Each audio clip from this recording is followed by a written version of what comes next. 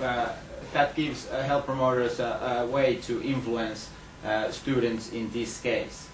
And, and other way around, if we take single uh, settings like uh, like school, hospital, whatever, it limits the, the frame of, uh, of seeing what are the effective ways to study and understand the determinants in this particular setting. CD in this way, of course, is very complex. There are many levels and, and all of these other settings, health promoting school, hospital, even prison, are located within a city. So, so uh, cities are, are this way very challenging uh, ones. Uh, key elements in, in settings approach are, uh, according to Mark Dooris from, from UK, uh, to create supportive and healthy working and living environments so, so that those environmental factors are noticed within these settings. And then to integrate health promotion into daily activities, and you can change health promotion as physical activity in, in this sense, uh, physical activity into daily activities. These probably are also very familiar uh, things for, for uh, this group of people here today, but, but to realize these in, in practice, that's another thing recognizing that people do not operate in just one setting, that they move uh, daily basis within various settings, and, and if, if a work in an, in a city context will be done, it has to be cooperated with these other settings also. Uh, I would uh, like to uh, uh emphasize uh, at the, at the, at, as my final words two focal aims of healthy city concept which is uh, uh, also uh, the first WHO healthy or health promoting concept right after the Ottawa Charter 86. So as having a history of more than 20 years, there are many things that we can learn from healthy city concept, even though uh, physical activity has not been in a, in a key area there. But uh, Healthy City has uh, two main ideas, and the first one is that to get health issues on the agenda and decision-making process of local governments, community organizations and private sector. The other aim is to create strategies that identify social, environmental and economic determinants of health, health through which corporate and community culture can be changed. So the organizational and cultural changes are in focus in this setting-based approach. But this very shortly in a nutshell of, of setting-based health promotion. Thank you. Thank you. I, I, I, think that this, this might be this might be um, a really important part of, of, of our see our uh, yeah, yeah. way of working and where I, I, I think that for example perhaps uh, Sami might be one of our our see, expert in this. How you see about settings in Finland? These uh, sport clubs. It's a traditional and um, and we are, we were I have their their report. You see, we had this second international TAFISA S5 workshop here, and uh, actually here is uh, here is you see uh, pretty well organized and based in the theories. You see how actually sport clubs are dealing with health. And it's written down in this document. It's there, and in, in, in Finland, you see, I think that the, this new door for, for clubs to approach those people who are physically inactive. And what would be, you see, this? So it's written down, and it's, it is really, you see, uh, this traditional way of working. So it's, it is important, uh, important uh, setting for us to, to open it. And then, you see, uh, then we had in Finland, you see, first TAFISA international workshop. It was it, one of the results of this is here. You see, it, it was the first first uh, uh, workshop when we visited uh, in in WHO headquarters in Geneva, and they asked about you see what how about uh, this active workplace because it it will be the next next topic of next uh, theme of of uh, Move for Health Day, and I said that we know pretty well in, in Finland, you see, this, this active workplace procedures. And that's the reason why we organized it. And then after that, we organized together with, uh, uh, we organized, you see, this by EFCS European Companies Sport Federation conference.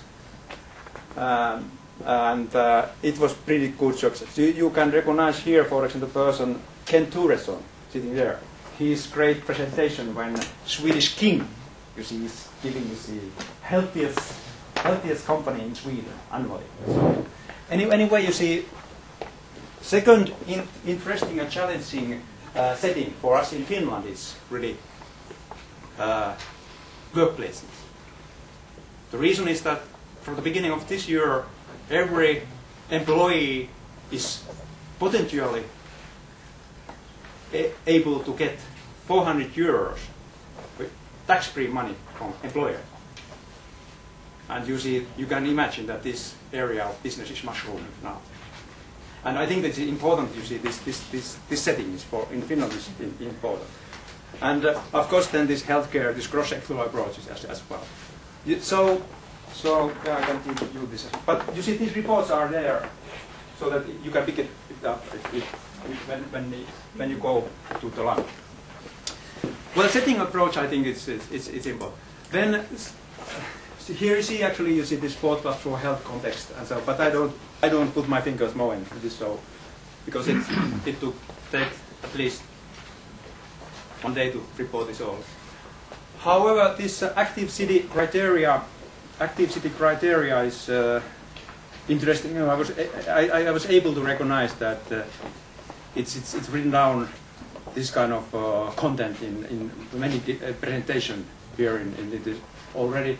But um, for example, from um, I would like to say, you see, this setting approach is pretty important. Workplaces, healthcare, schools, and so on. Then this follow-up studies. What kind of instrument we use there? Theory behind there, and, and so on. I think that this is uh, interesting to open, but I don't. I, I think that we don't. Uh, I don't begin to report more about more about that. And then finally, then finally, this my summary is here. You see, we need the terminology and definitions to be able to discuss, to cooperate, to cooperate, to understand each other. For example, uh, let me tell you,